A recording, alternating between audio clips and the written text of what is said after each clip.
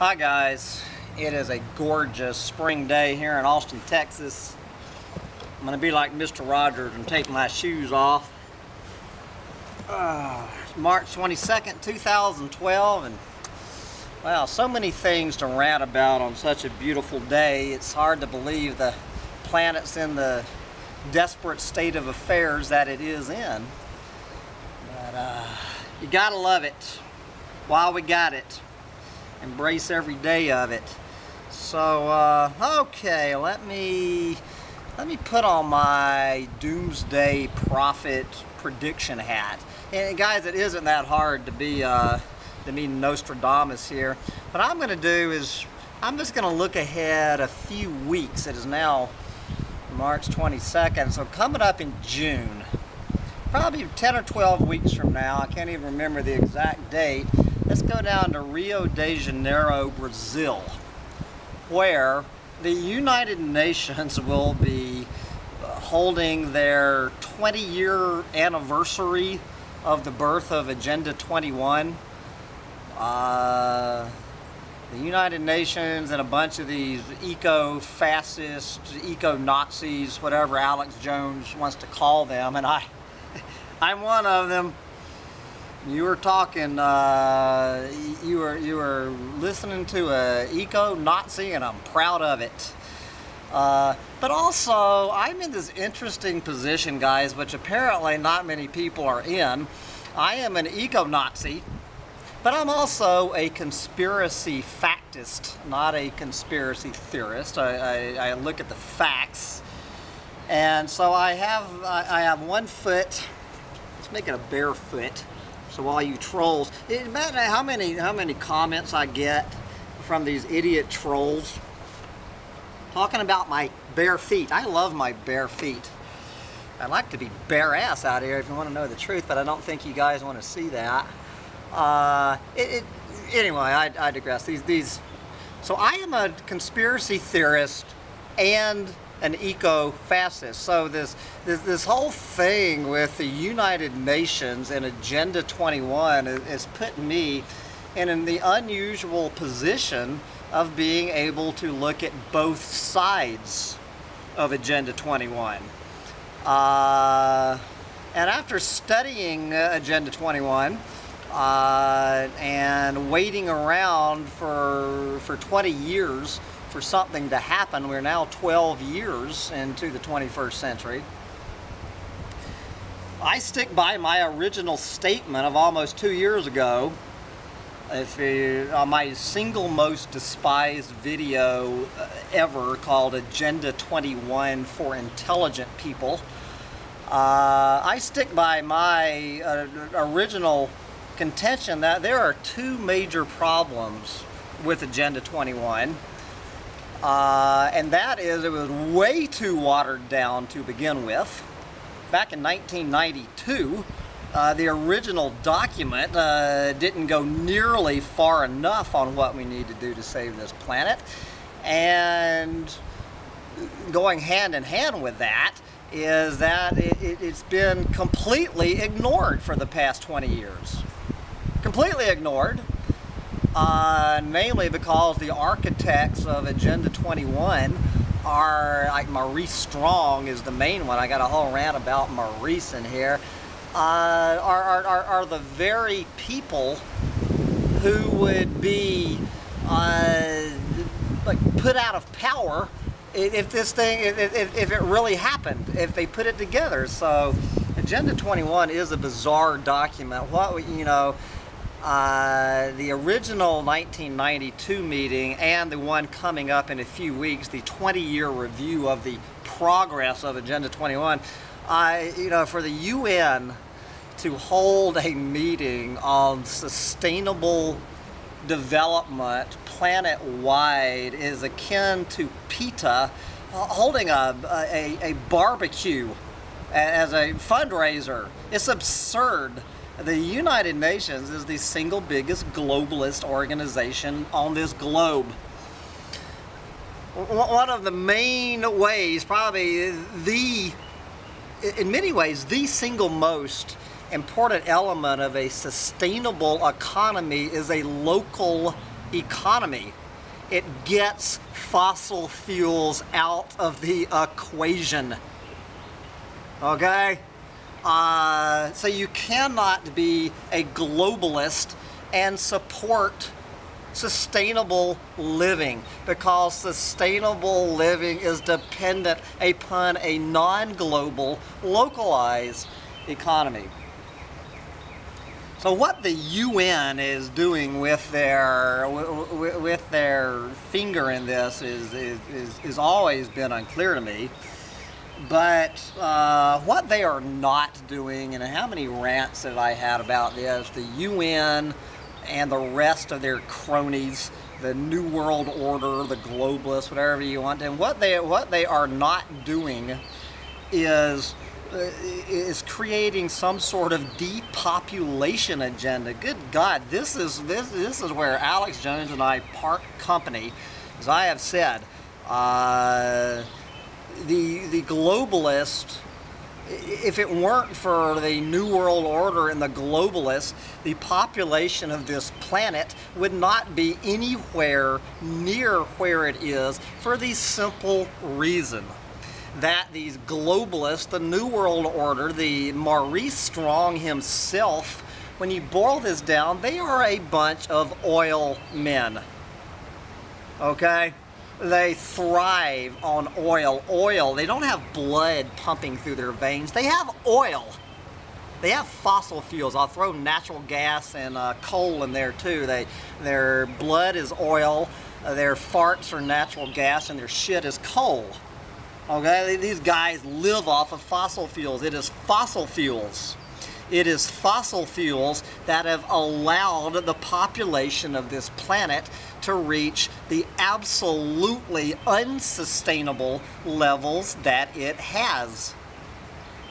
If, if the New World Order wants to have a depopulation agenda uh, through Agenda 21 or some other mechanism, all they need to do is cut off the fossil fuels you cut the fossil fuels out of this equation and you will see this planet depopulate pretty damn quick. And the first people are going to depopulate are that the more dependent you are on fossil fuels in your own life, the more at risk you are of being depopulated when the oil runs out or when they decide to turn off the, the flow. The, the New World Order has nothing to gain from a depopulation agenda for the simple reason that dead people don't buy stuff. They don't use oil. They don't get credit cards. That's the other, the other twin horn of, uh, of this evil axis is the oil companies and the banksters that behind them and of course all the other multinational corporations and militaries and governments use to prop up these corporations, namely the oil companies and the banksters. Good God, it's not that hard when you boil it all down. There's not that many players in this game. They have nothing to gain through a depopulation agenda. Now, they do have a lot to gain by, by keeping people sick, all right, particularly big pharma big pharma and, and, and the doctors, the AMA and all this stuff, there's a lot of money in, in keeping people sick. But dead people don't buy oil. So, this depopulation agenda crap that the, the, these New World Order people, it it it, conspiracy theorists. Uh, as I pointed out in my last Agenda 21, we do need a depopulation agenda. Uh, the depopulation agenda needs to be the number one agenda item on Agenda 21. Uh, there will be no Agenda 22 until we, we start getting our numbers down. And if you want to read my, listen to me blab on about that before all you trolls start putting in your comments about wanting to murder, you know, good God, I, I just I, I just can't stand the, the, the, absolute ignoramuses out there who, uh, who won't study the, the numbers and the facts on the table. anyway, so my predictions. on Agenda 21. It, will be a continuation of the last 20 years. That the, the the the document that they are creating, which I've read, is easy to find. The draft document for the the upcoming one. Okay, the 20-year review. It's a list of about 100 and I think there's 128 agenda items on this thing. Uh, never once does, it, does the word overpopulation mentioned anywhere in this new document. Never once will you see the word overpopulation and looking forward to the next 88 years of creating a sustainable planet. Uh, but read it, it, you know, it sounds good to me, but the, but the thing about it is, is going once again uh, it is not nearly strong enough, mainly because it does not mention overpopulation and the need to address the single most serious environmental unsustainable issue on this planet is our numbers. Okay, then of course the other thing is it, it is written by a bunch of globalists, as I mentioned, and doesn't say anything about about getting back to local economies, particularly local food production that takes fossil fuels out of the equation of, uh, uh, of food production. and uh, so that's my first uh, first prediction. It's going to be it, it, it's it, well, it's, it's the same as the other two. It's going to be watered down. I read the document. It, it is too watered down. It's clearly too watered down. It's completely unenforceable. It says right there, this, this has no effect of law whatsoever. Doesn't have any effect of law and, and the tiny little bit of effect that it does have, if, if any at all, will be completely ignored over the next 20 years, over the next 88 years, as our population continues to skyrocket, as this planet continues to, to suck every last ounce of fossil fuels out of it, uh, much to the delight of the New World Order globalists who make their money off of off of selling us addicts fossil fuels. Some other predictions is well, one thing it's it's compared to 1992. My prediction is it's not it's, it's not going to be nearly as even paid attention to. There will be a little bit in the news about it, but compared to 1992, the, just the level of interest, the level of, of both media interest and the level of interest by, by heads of state, my guess is that there will be far fewer national level politicians even present in Rio. And I, I will be shocked if, if Obama shows up. He's going to send one of his lackeys, uh, probably, I don't know, who will, he, who will he send in there? I guess the probably someone from Department of Interior is my guess. Obama's not going to show up uh, to this thing. I'll be shocked because he doesn't give a shit. Uh, because he knows that nobody else gives a shit. If, if, you, if you've been seeing this little thing on YouTube, this little this little poll they're taking about what is the single most important issue in the 2012 election and there's like 15 choices. The one that has been at the bottom of the list is environmental issues. It's holding steady at 2% of respondents to this poll uh, consider the environment to be the most important issue uh, in this election. Once again, I'm going against the grain of 98% of the people uh, in this country and, and, probably on this planet. People don't give a shit about the environment. They, they, give a shit about you know what's on TV tonight and, and how they can buy a, a bigger car and a bigger house. They don't care about the environment. Uh, but all I can bitch about Obama, the man's not stupid he's not going to waste his time down there in Rio at this sustainability thing. Yeah, and, and to have this thing, to have this thing in Brazil, Uh, you know, my God, to have to have an environmental sustainability meeting in Brazil. it's kind of like I said, PETA having a barbecue. It's absurd, the, the ironic absurdity of this, the in-your-face hypocrisy of Brazil, one of per perhaps the single most unsustainable nation on this entire planet holding this meeting, you know, I don't know whether to laugh or to cry about it. Uh, Brazil's environmental record of sustainability is absolutely horrendous. You know, as goes Brazil, goes the rest of this planet. Anyway, enough of that. And so, uh, other predictions. Well, the, my other prediction is this is that the, the, Alex Jones, David Icke gang, who is, as I as I've put in other rants, I uh, I agree 100% with 50% of what Alex Jones and David Icke say. They're great guys. They have done a, a great service to mankind by waking us the hell up about the rise of this police state and the banksters. Now they need to be a little heavier on the on the oil companies than they are. Uh, that's where they, they that's where I diverge from Alex and David and them. I, I agree 100% what they say about the banksters and the police state and the erosion of our constitutional freedoms here in the in America. But uh, they're full of shit on the uh, on the environment. They're they're 180 degrees wrong, and label people like me.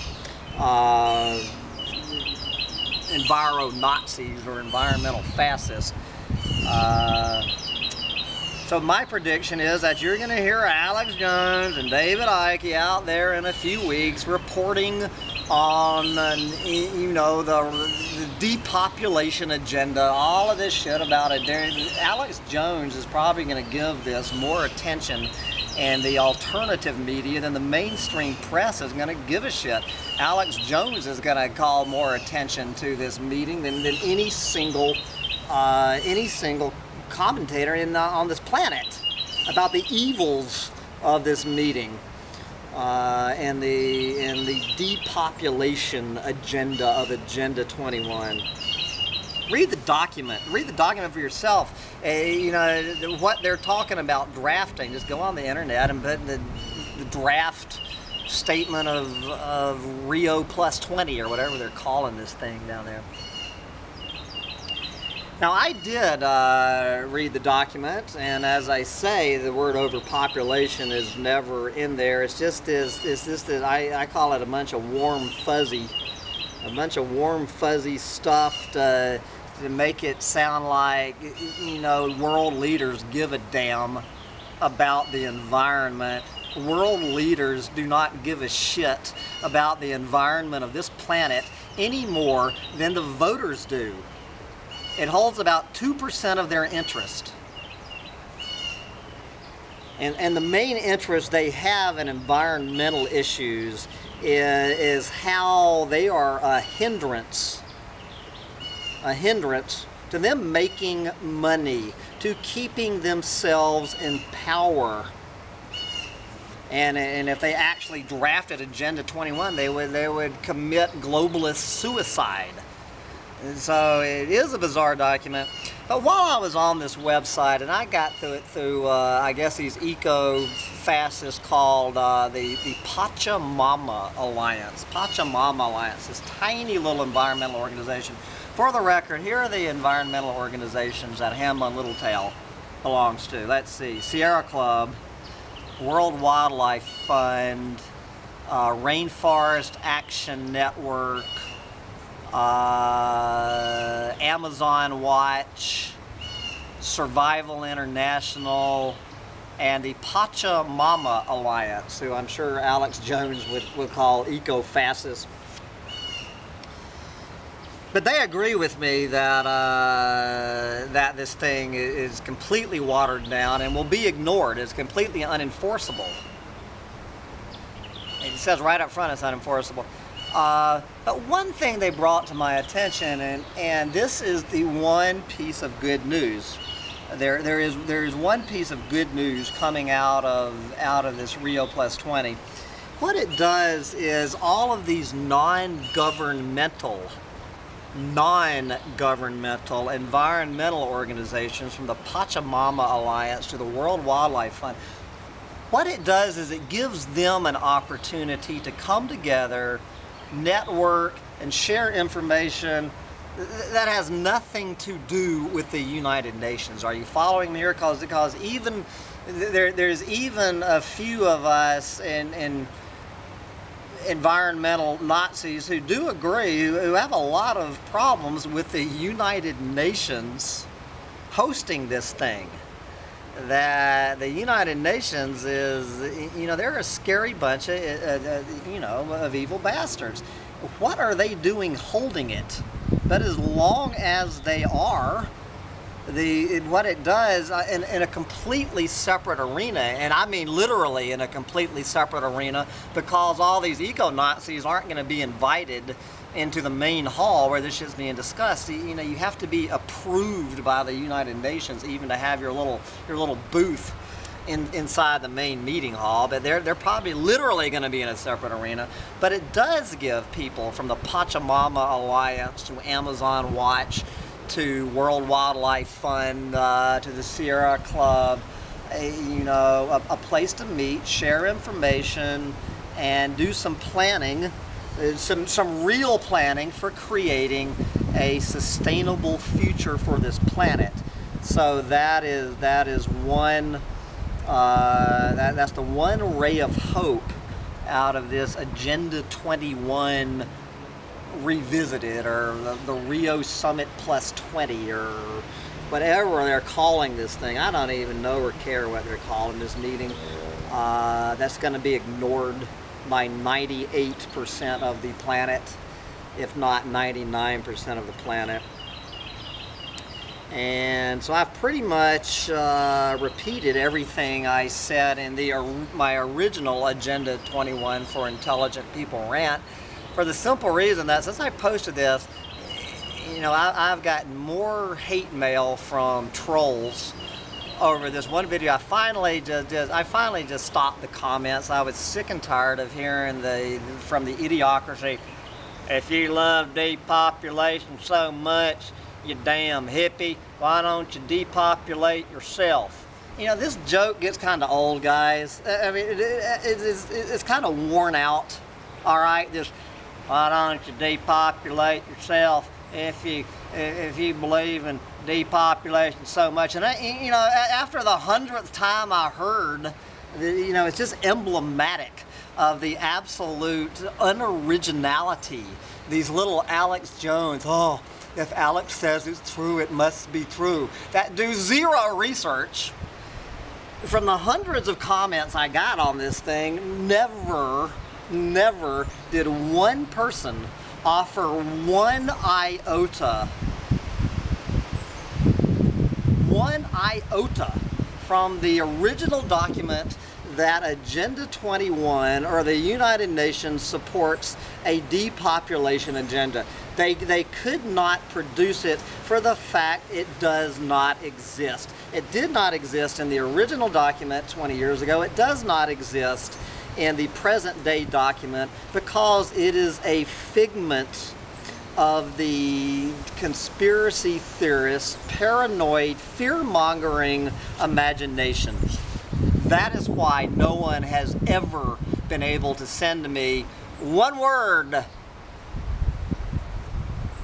out of it. And, and if you're some troll ready to talk about my bare feet, my long hair, uh, save, save your save your damn little fingertips for somebody else because I need to approve any comments. This, as my hero, the Deuterin OK says, this site is not a debate forum for the idiocracy.